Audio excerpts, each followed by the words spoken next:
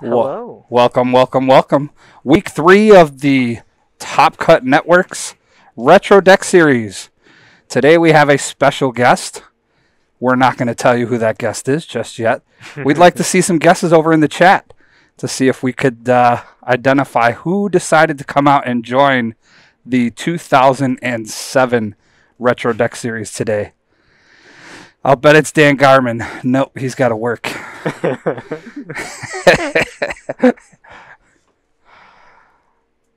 Franco, thanks for coming out all three weeks. It's been a pleasure sitting here next to you.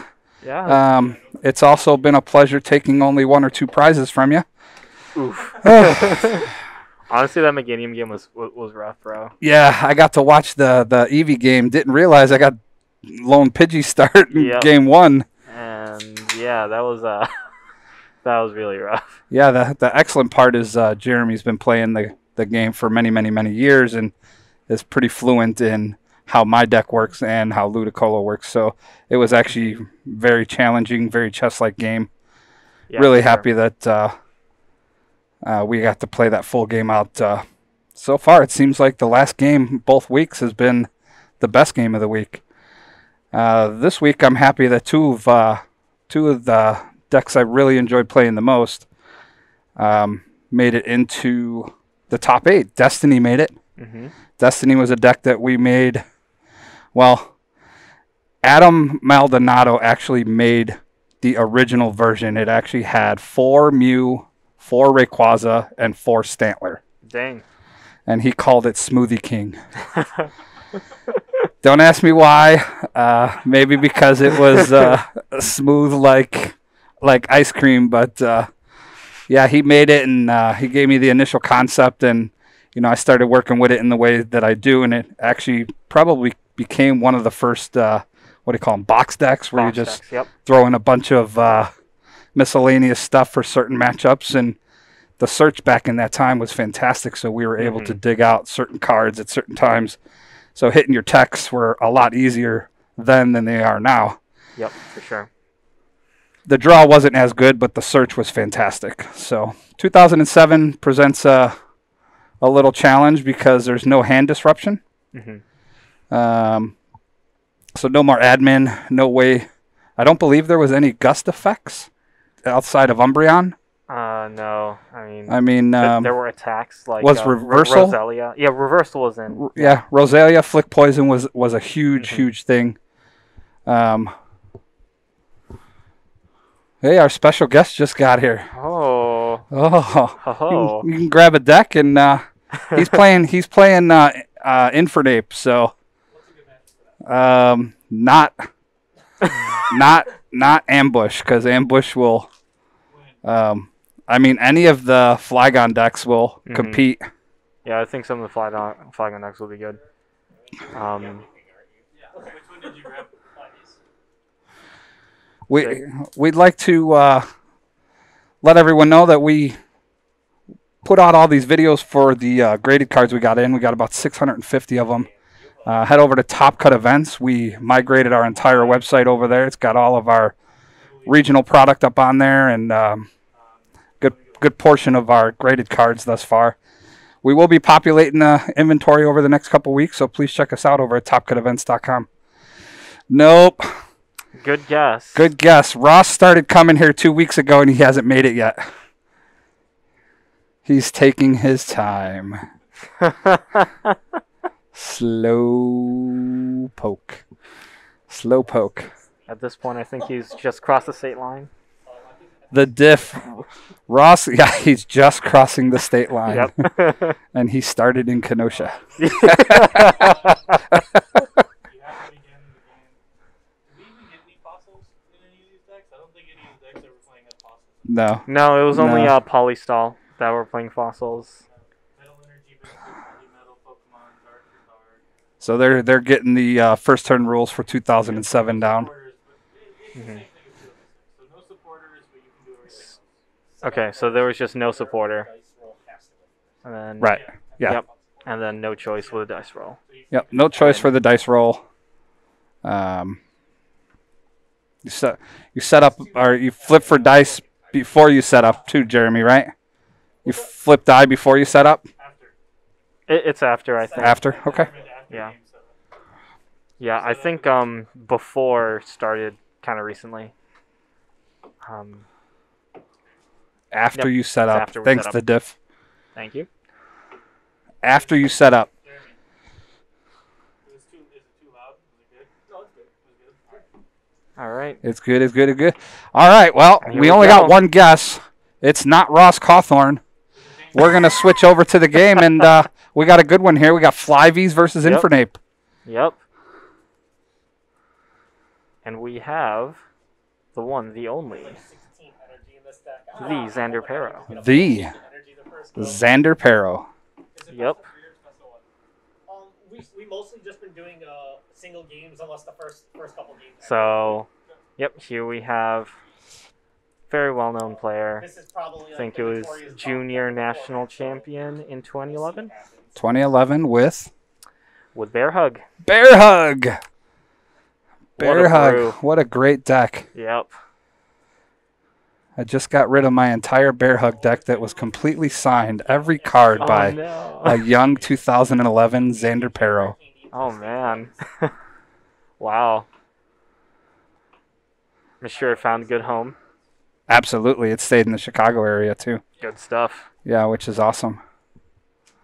Sweet. Seven of them in here. So we got Jeremy mulliganing. Um, yeah, there's only seven basics in the deck. Four Chimchars and uh, three, Three. Skitties. Three Skitty. Yep. So, Delcatty was easily one of the best support Pokemon ever printed. hmm Discard an energy card, All the Pokemon. discard an energy card, and draw three cards. Yep. Magcargo clearly rotated out, or it would be an Infernape for sure. Yeah, I think so. Yeah. Could you imagine that Uh, smooth over? Smooth over into into the Delcatty draw. Oh man, yeah, that that seems disgusting. That would be pretty good, I hear. Oh, apparently Magcargo is still in format. Oh, it's just not played. I Guess it just wasn't played in that deck. Yeah, that's, that, that- seems like a really good addition to the deck. So, huh? I remember Adam uh, Adam uh, Vernola ran Mhm. Infernape at Nats, and he ran a. Uh oh. Okay. Well, he's got a base finally. basic, Yeah. I hope that deck runs copycat. yeah, I think. Um, actually, yeah, it pairs very well, not just with Delcatty, but also with Infernape level X Poke Power. Right. Yep. So Xander going first um, with the FlyVees deck. I think it's just pretty much a um, set up a tank and just you yeah, know. and, and use the evolutions to spam damage. Yep. I believe this deck runs two uh, Jolteon, Mhm. two Jolteon, one Umbreon, one Vaporeon. Gotcha. You'll notice the metal Eevee in there for Delta Draw. Yep. I'm gonna pull up my deck list here on www.topcutevents.com. Um, we cannot play trainers turn one with the release of Diamond and Pearl. Um, huh. I it, it in the rules we um we have that you can't play supporter but can still do everything else. But Yeah, once Diamond and Pearl was released, um uh, you can't play trainers. Right. oh gotcha. Because it was released right before Nationals. That's when the rules changed. So the rules document has, it's all right. Just let them play for now. yeah yeah It's all probably good. best just to leave. We're not going to rewind the entire game just for Yeah. one or two cards. So Okay. um, Well, Just take three skinny. let's see what I it's all got good. here. It's all good. Um. Pokemon Retro Decks. All right. Oh wow, Jeremy with the triple skitty off of the Holon Mentor. Wow, he is not messing around. He is not messing around. He's got a whole thing of cats. Yeah, yeah. It's good to, to leave the supporter up there because actually in one of the decks, um, it actually requires the old supporter rule to be in effect. Right. Um, I think it was like Delta Chimecho or something. Well, also uh, um, the Banette EX requires you to leave it active as well. Otherwise, it would Yes. count it for the attack in the discard pile. Yep, makes sense. All right, And- so what do I got here? I got Absolutions. Nope, Yep. not playing that one. Flygon EX Legend Maker. Here we go. FlyVees. It looks like we have two Jolteon, a Vaporeon. That's it. Flygon, Um, Flygon. I believe Flygon EX's attack does damage uh, uh, if they have damage counters on them. Yes. So it's important to lay the, the Jolteons to start spamming that damage. Vaporeon was a cool tech because it would get you down, get your opponent down to four cards yeah. in the most inopportune time. Yep, exactly. So I think that was the only form of hand disruption. As we see, we already have Jolteon. Oh man, and Xander copycatting for three. Not ideal, but I mean, if he doesn't really have anything else on hand, uh, there's not really much he can do about that. Infernape was a fairly straightforward deck. Ran a lot of four ofs, you know, four candies. Ran Yep. three Windstorm, three Warp Point, yep. three just- plus power, four transceiver, you know, the typical Holon engine. It did run a last and a farmer, which was important. Also runs Oh, four yes. doubles. Energy's typically not an issue with this deck due to Infernape level X's level X attack Mhm. and Delcatty EX upstream. Both of those were Oh no. Both of those were key in keeping energy flowing throughout the deck. Yep. Uh oh. All right. Looks like we got a new Tyranitar. Yep. Team Rocket Tyranitar, sand damage. Yep. So unfortunately, it doesn't look like Xander really has much going on here. If Jeremy can pop off and knock out this Flygon, Xander will be in a world of hurt. However, um, Uh oh. He did draw the Celio, so he can start drawing with Delcatty. Yep. However, Jeremy needs a lot of cards in order to He can, he can Xander. actually get them here, though. He could, he could, if he gets lucky off of this draw. Um, Jeremy last turn actually wisely holding the basic fire energy in his hand so that he can have that available for Delcatty. Oh man, he already has a double rainbow. If he can get rare candy and Fernape. Oh man. One. Oh! Oh! Oh man. Almost had it. That Oh. was that was scary, honestly. like That was so close. that was so close. I I think here um it's just best to hold the fire again so that he can uh scratch for ten. uh yep Delcatty I don't know. So That sand damage is adding up very quickly. oh yes, very much so. Uh oh. Oh, Xander there Uh-oh. with the transceiver. He's Nope. able to Can't uh, use scientists. Five. uh he can't use scientist. Oh, what was the text under there?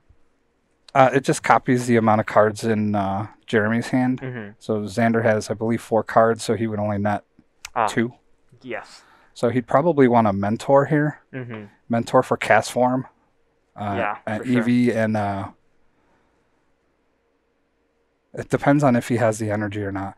He can get a Mhm. Trapinch and a Castform and an, and an EV, and then Delta draw for three. Yep. So that would kind of get him going. Yeah, for sure. But he has to have energy in hand to retreat the Flygon. Yes. Um, he could, off of the mentor, um, get a magneton. Um, so. Or For not- energy? Not, Well, that not, not magneton, the uh, magnemite or voltorb. Right, that would give him one less. Yeah, it would give him one less, but if he doesn't have the energy, then it is potentially. So it like- depends. Does he just want to stay aggressive and keep the Flygon out there and hope Jeremy doesn't hit with uh, with Mhm. Delcatty? Or does he want to set up here?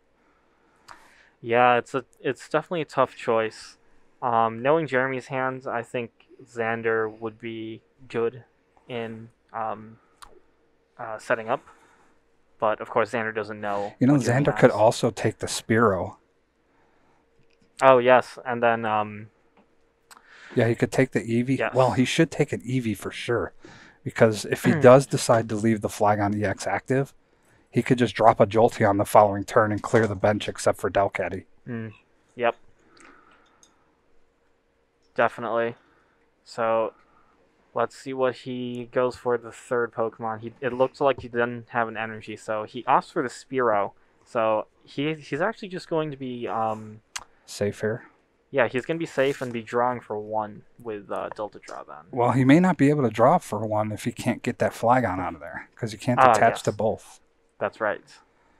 He also may just attach the Castform to Flygon. Yep, he might. I think here I I would probably like, uh, Ooh, yeah, that's seeing odd. seeing the uh, Voltorb. Um.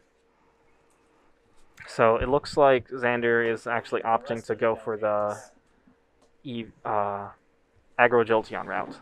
Yeah, I don't understand that play. Maybe attaching the Castform to Flygon would have been the better play with no real threat of Rick Candy. Rick Candy. Ooh, no. Well, he can get another. Delcatty. Oh, but no basic fire. He doesn't need it. Delcatty's any energy card. Oh right. Well, um, does does He can Jeremy have a discard way the to double. retreat? Um, well, no. He's still. I, I, my suggestion would be to grab another Mhm. Delcatty hmm and try and draw in into the rare candy for the active. Ah, yes. Oh yeah, that's right. Delcatty is not just basic energies. Right. Yep, that's right. That's right. Adventurer. Jeremy playing Adventurer. Um. I'll discard last. So I think he's trying to just go straight for the There's, rare there's candies. Delcatty. Yep. take. Gets a Delcatty. Good stuff.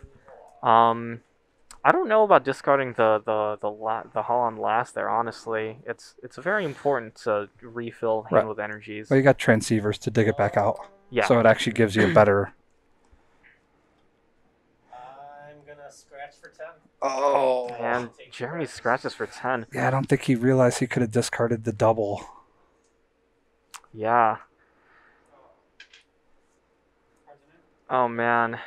If, if Xander can come in and knock out this Chimchar, Jeremy will be in a whole lot of trouble. This, This- Infernape deck is usually fast, so Yeah, this is why I was telling you that the uh, the Castform on the Flygon probably would have been the better play here. Mm, yeah, for sure. Because now Xander has to find both a switching, or now has to find a switching card. Um, yeah, like even if um, Jeremy did get a rare cane Infernape on, uh, the the Flygon would have just been able to attack uh, this turn, and with the accumulated damage would actually just knock out the Infernape. Oh, Xander plays another transceiver. Mm-hmm. Oh, but he picked up his discard pile. Oh, call somebody, call a judge.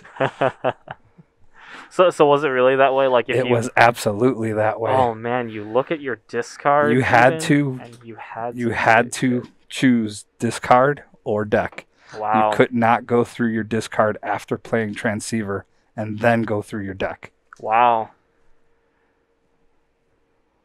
That that must have led to a lot of. Nah, I uh, mean, you know, it, it's like any other time in the game. Whenever, whenever it happens once, it resonates throughout the entire building. Everyone knows about it immediately. Some people say, "Oh, he got screwed," and other people are like, "No, read the card." you know, and so there was really no right or wrong. But let me tell you, once that once that was penalized one time, everyone knew the rule immediately. Yep. There were no secrets. Xander is in firm control of this game. Jeremy not hitting those rare candies is making it extremely difficult for him to keep up. oh yeah, for sure.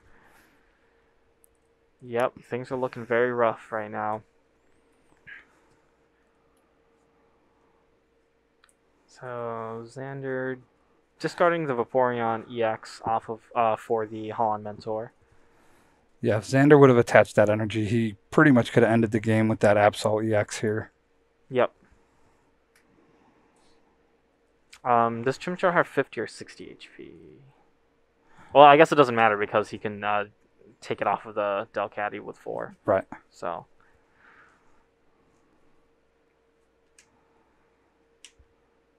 Yeah, all those Diamond and Pearl Pokemon were so tough with the change in weakness. mm-hmm. Yeah, especially with, like, uh, the scale of the attacks, too, I believe. Right. Less energy, higher damage, all that stuff. Yep, and, uh, Xander uses Absol EX to um, Move three damage move three counters. damage. Yep. In this case, it was only two, but it was super effective. Yep.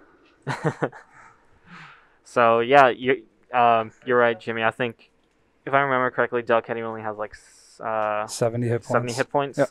So that means that uh, Xander could have knocked out this active Delcatty. But look at how many cards are in Jeremy's hand. Yeah, I mean, if he has another Chimchar and Rare Candy, Well, he might be able to get an Infernape out here if he has yeah. Rare Candy in his hand. it looks like he does. I think. I, I think I saw a glimpse of a Rare Candy. The issue here is that Delcatty is one to retreat. So again, unless he's sitting on a Warp Point, Mm-hmm. um, it may be too little, too late. I don't know how many energies are in his discard pile. Yeah, um, I think that there are two or three fires in there. He really needs to hit that transceiver Mhm. to farmer those Chimchars back. Yes, for sure. So This Infernape deck can set up out of nowhere. There are four, Four, fires. four fire energies in there. Yep. Rare can. There's the old rare candy rule. Yeah. There's the rule that made stage twos playable. right. Uh, for sand damage, do I have to have damage on me already? No, it's just all basics. Alright. Yep. So The question was, does sand damage hit uh, anyone, or do you have to have damage counters on it already? And sand damage hits any basics on the bench, hmm on your opponent's bench. Yep. So here I think I would like to see the attach of double rainbow. Um, I, I think Jeremy's trying to play around um, Xander using uh, uh, See- Vaporeon EX's Poke Power. I don't. I, I seriously do not think Jeremy's aware you can discard a double to draw for Delcatty. Yeah, I, I don't think so. Doesn't doesn't look like it. Yeah, he could have continued drawing with those Delcatties, dropping those doubles. Perhaps the, the issue is uh, perhaps the issue is he can't get to Delcatty EX to upstream the energies back, but I'm pretty sure that's only basic energy anyhow. Yeah, I think Delcatty shuffles in all energies, but for the discard effect of um, Delcatty's Poke Power, um, let's see here. Infernape does t- run two war points, this one specifically. Yep. So if Jeremy had that in hand, he would have been able to, I think, quite possibly knock something out. Yeah, he only has three skitty and he evolved one one died to sand damage. Yep. So and he evolved the other two into this, so he really needs to hit. he the needs to hit farmer. the farmer. Yep, for sure. This is going to go downhill very quickly here. You know, Yeah. Inf- Infernape only doing 90 damage max, and with him not discarding the doubles for uh, Delcatty's draw, hmm that's less energy cards in the discard pile Yes. to try and upstream or use Infernape level X's attack. Yes. Um, actually, I think um, Infernape level X's attack only works with basic fires. Basic fire. Yep. It has to have eight, if I'm Yep. not mistaken. Yep. Yep. So There we are. Burning Head. Once during your turn, you may look at the top three cards of your deck. Choose one of them, put it into your hand, discard the other two cards. Well, Yep. that could assist in uh, discarding some basic fire, huh? yeah. Search your discard up to eight fire energy. Currently has four in the discard pile. Yep. Show them to your opponent and shuffle them into your deck for 150. Well, there's your Flygon counter, but you got to be able to hmm you got to be able to discard those energies. Yeah, for sure. And um, knowing actually, um, All right, I think Jeremy's going to get an attack off ooh, for 80 there we because go. oh, can he meteor punch his way? Oh man, if he gets a meteor, Oh, that would be so great. oh man, Come on, do it for the lulls. I love that it. would be insane, honestly. Oh my goodness, he would have to have five heads. Well, 13 minus 10, yeah, 30. yeah, 30 times 4 is 120. minus ten. Minus 10. Yes, he would need five. five. I have confidence. I have full confidence that he can pull this off. Have you seen Jeremy flip a coin lately? no, I have not. He is incredible. Oh, here we go. Man, that Flygon is just wrecking havoc. It is, yes, definitely. Yeah, it's this is this is rough, honestly. Yeah, Jeremy's draws have just been mediocre at best. Yep. Like if if only Jeremy had enough fires in the discard, he would have just been able to blow up this Flygon. So this Um, Infernape level X artwork actually gave my kids nightmares. really? That's why they had to come out with the softer one in the tins that year That's so because funny. it was ruining kids' sleep everywhere. it was awful. I believe it. That just just imagine you're a little kid and that's your window. And oh you see this- Big fire red monkey coming through your window. That's awful. Yeah, that's definitely pretty what face. Flare up for 140. Flare up Oh, for man. one. Wait, wait. Does he have eight? Two, three, four, five. You need eight. You need eight. Oh no, I do have to have eight. Okay. Yep. Otherwise, it does nothing. All right, so we'll rewind. So we'll so let's rewind there. We'll be kind and rewind. Yep. I think I could have got up there. Five, six, seven, eight. Yeah. I think he could do 80. I think he would have to do 80, or he could meteor punch.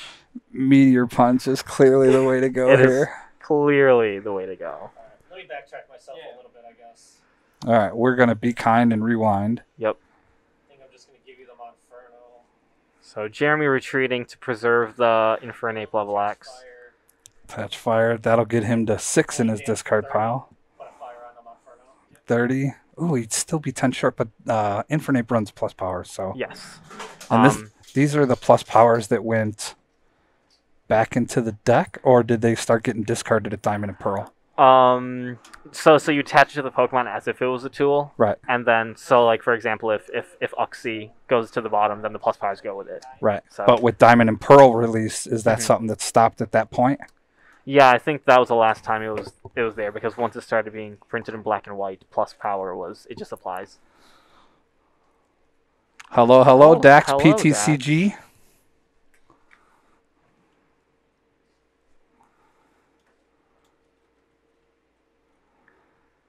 Sweet. Glad to see you're here. Psychic Pulse for knockout, and then I'll That can't be. That can't be Daniel Altavia after he sick barb on me this morning.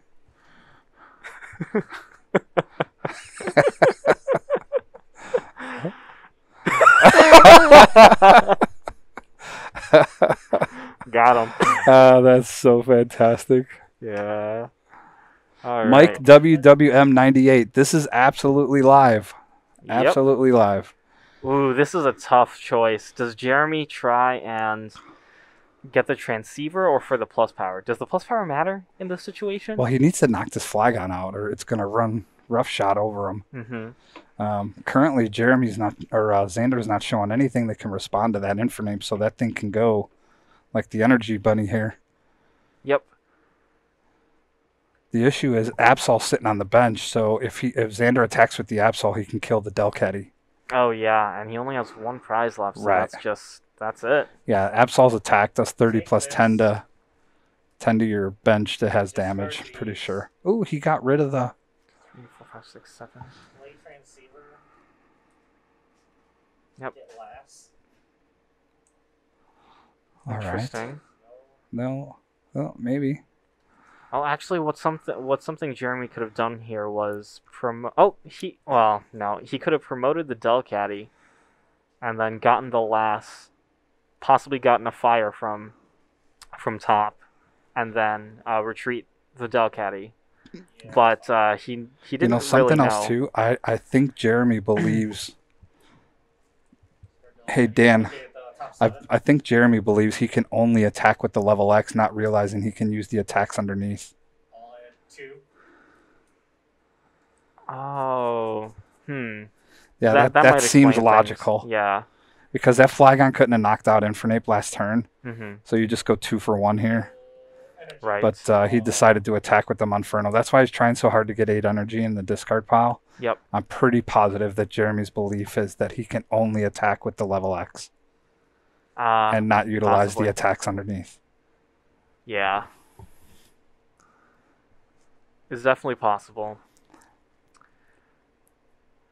I would Um, probably intervene here and let Jeremy know if the game were a little closer.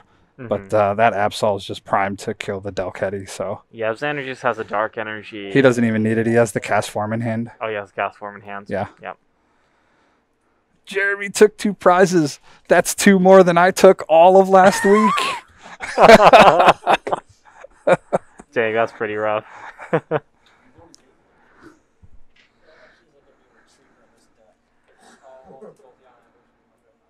oh, yeah. Or Xander could oh, just Xander could just evolve into evolve Jolteon. Jolteon. Yep. I- I would have attacked with the uh, Absol just for style points. yeah. I'll attach the Castform to Absol EX and win. hmm That's fantastic. literally no way to get Yeah, Jeremy's bad draws early game just uh, really did him in. Yep. Uh, the inability to hit rare candy when he had like 13 cards in hand was that just rough. absolutely awful. Oh, yeah. Mhm. So now first search, I was like, did I miss the routine? we got we got Jeremy with no headphones here, so we're gonna we're gonna ask him a couple questions. So Jeremy, Yep. you know that when you level up, you can use the attacks underneath still. Yeah, yeah, I know. Um, I, I, w- I was unaware of just like how much he could put in play on a turn. So quickly. Yeah. Sure. Okay. And then, um, uh, did you did you disc- uh, know that you could discard the uh, double rainbows as well with Delcatty? No. Yes. Yeah. It doesn't have to be basic It's energy. just it just has energy. It doesn't have to be basic. Yeah, we were wondering because you probably could have hit a rare candy a little sooner. Yeah. And uh, would've done that. Especially Yeah. Losing the, the, the last Skitty so early. Mm-hmm. I Yeah. was looking at like every Celio's in my hand in the first turn of the game. I was like, I need something. you had to hit Yeah. farmer there too. The so- farmer For was sure. top of my prize. Uh, that was awful. Oh okay. man.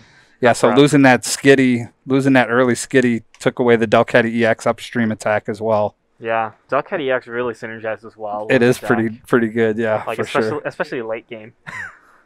Well, that was uh, game number one. We're gonna do six games today. Um, I don't know who's gonna be up next, nor who's commentated. There's six of us here today, so we'll get through all six matches, Mm-hmm. um, and we'll be back shortly for round two. Yep. Thank you. Thanks.